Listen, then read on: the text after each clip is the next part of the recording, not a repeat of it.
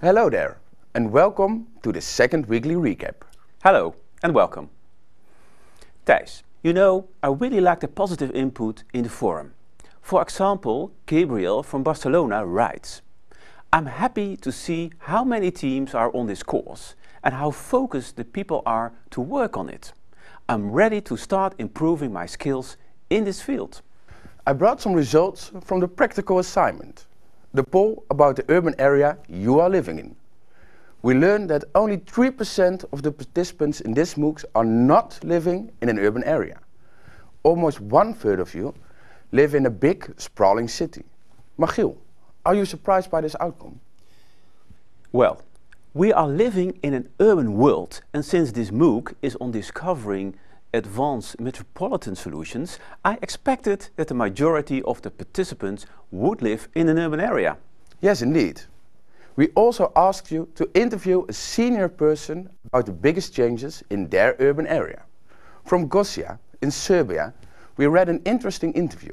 Her 87-year-old neighbor has lived in this suburb of Belgrade her entire life. The town used to be a sprawling yet small village with a lot of meadows around it.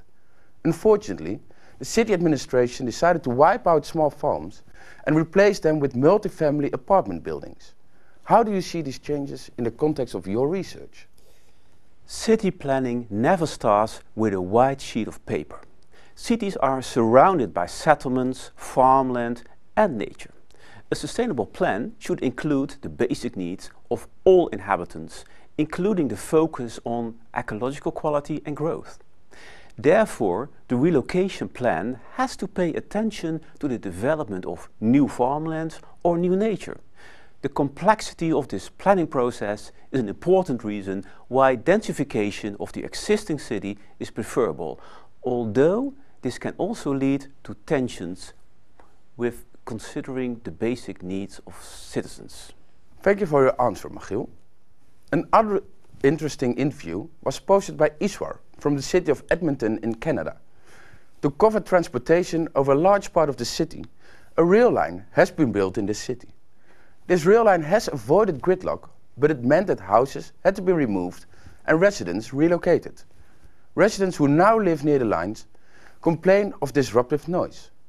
How do you see this urban development? In a densely populated area, public transport is needed as it is part of the sustainable city. Sustainable transport should lead to less cars and better air quality. Light rail, subway and electric buses are easier to fit into an existing urban fabric than a heavy railway. Although these types of changes may lead to great local improvements, unfortunately they can also cause discomfort for some inhabitants the issues linked to the 100 times 100 challenge. We hope to get 100 teams working on these kind of challenges in their urban area. We already have 85 teams. In the end, we aim to have, we aim to have a total of at least 100 solutions for 100 challenges. The weekly challenges in relation to the various teams might serve as input. It may be easier to find solutions for some challenges than for others. I learned from you that the team of Addis Ababa, the capital city of Ethiopia, is focusing on the urbanization challenge since, unfortunately, the city is undergoing construction that is not following the urban sustainable development rules. We want people to suggest solutions and give the ideas a try. This brings me to the idea from Hari Ram of the Indian Cities teams. I'm sure our students will find it interesting as well. Hari proposed to make a list with the pressing urban problems students face in their daily life. The points that came up so far are overcrowded roads, lack of public transport, poor air quality, poor housing quality, unsafe building in low-lying areas, extreme density building with no space for green, and poor waste recycling. Coming up with such a list is a very good proposal.